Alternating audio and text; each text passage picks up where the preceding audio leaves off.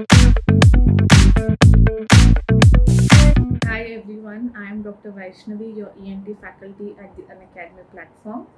Uh, today we are going to discuss three common instruments that we use in ENT. These three are instruments that you will find in every ENT clinic, in every ENT specialist uh, office. So these three instruments are very commonly used.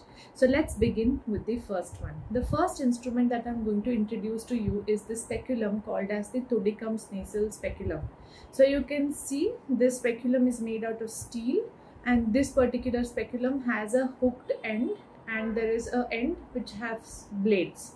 So the hooked end of this particular specimen is held in the index finger of the non-dominant hand. So if you're a right-handed person, you will hold it in the non-dominant hand and then you are going to take your middle finger and the ring finger to squeeze the blades of the speculum. So now with this blades of the speculum which are pinched inwards, this speculum is inserted into the vestibule of the nose.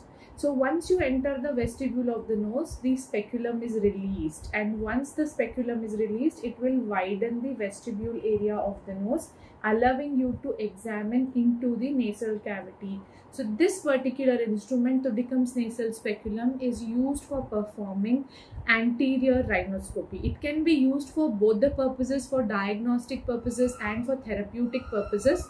But diagnostically, it is used for doing anterior rhinoscopy to see the septum, to see the lateral wall of the nose, if there is any deviated nasal septum, hypertrophy of the turbinates, to see if there is any foreign body in the nose, to see if there is a mass or a polyp in the nose. So for performing anterior rhinoscopy, this instrument is used commonly in every OPD then this is also used for therapeutic purposes like removal of the foreign body which is why the reason is that we hold this instrument in the non-dominant hand to open the vestibule and close the vestibule. While your dominant hand can go inside and take the foreign body out you can do a probe test with the dominant hand. You can do a packing if there is a patient with epistaxis. If you want to inject into the nose you can do with this.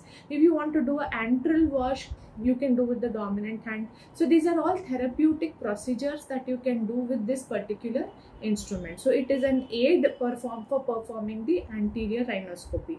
Now you can hold these blades to open it in either vertical direction or in the horizontal direction so you can open the vestibule horizontally like this or vertically like this so this is the importance of this particular instrument called as the Thudichum's nasal speculum. So the next instrument that we are going to understand is the LAC tongue depressor. This LAC tongue depressor has a flat end as you all can see and it has got a bent end. So there is a bent end and there is a flat end. There is always a confusion as to which end has to be held. So the end that is bent is held and the end that is flat is used to depress the tongue.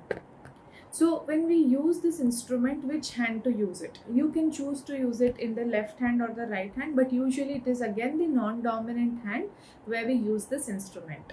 So this instrument is usually held in the left hand and you take fulcrum of the chin of the patient and then they depress this tongue depressor by only depressing the anterior two-thirds of the tongue.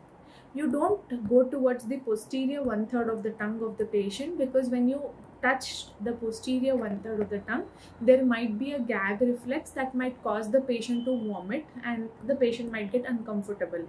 So to prevent that gag reflex, you have to make sure that it is depressing the anterior two thirds of the tongue, which will enable you to visualize the uvula, the anterior pillars, the tonsils and the oropharynx as well. So this instrument is used for the examination of the oral cavity and the oropharynx it is used for retracting the lips, retracting the cheeks. It is used for eliciting gag reflex. Now you want to know the function of the cranial nerve, 9 cranial nerve, 10. And if you want to know the afferent and efferent are working functioning well. You want to see the palatal elevation you want to see the gag reflex you want to see the sensory component of the glossopharyngeal nerve is functional or not. You can again use this particular tongue depressor which is called as lac tongue depressor. This can be used to perform a simple test called as a squeeze test. So if there is a peritonsillar abscess or a tonsillar abscess or a palatal abscess you just want to gently push and see if there is any pus that is going to ooze out from the lesion. So you can use this instrument for also that this is used for injecting uh, drugs into the oropharynx. Say there is a patient with submucosal fibrosis of the palate. You want to inject intralesional steroid. Now you will depress the tongue and you will inject the intralesional steroid into the soft palate. So it has got various uses for diagnostic as well as therapeutic purposes. So this instrument that we have commonly is called as the LAC tongue depressor.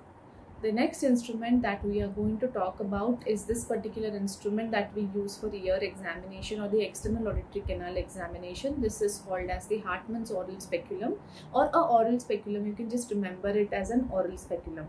So this aural speculum is basically inserted into the external auditory canal so that you are able to visualize the canal and the tympanic membrane. Now, how do you insert this particular speculum? So, the first step would be to pull the pinna upwards, backwards and outwards. Now, once you pull, pull the pinna upwards, backwards and outwards, you are making the canal a straight canal. Normally, the canal is S-shaped. So, we are making it straight by doing this maneuver. Now, after we make the canal straight, you will use this particular speculum and insert into the external auditory canal of the patient and rotate it in the clockwise direction only until you are in the cartilaginous portion of the external auditory canal. You won't go up to the bony portion as this may result in pain to the patient because bony portion is very very sensitive and that can cause extreme pain to the patient. So this is inserted only up to the cartilaginous portion of the external auditory canal.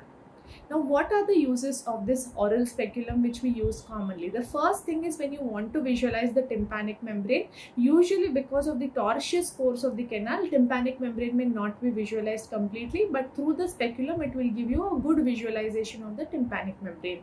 So, it is used for visualization of the external auditory canal and the tympanic membrane. That is the diagnostic use. What is the therapeutic use of this instrument? This instrument is used for removal of wax, removal of foreign body for probing if there is a lesion in the external auditory canal like an aural polyp this can be used for surgical procedures like when you're doing a myringotomy or a myringoplasty, a stapedectomy or a stapedotomy. It can be also used for doing injections like infiltration of the external auditory canal prior to a surgery. We use this instrument. So this instrument that you have is the aural speculum. There are various types of aural speculum. The one that we are talking now is the Hartmann's aural speculum. Thank you.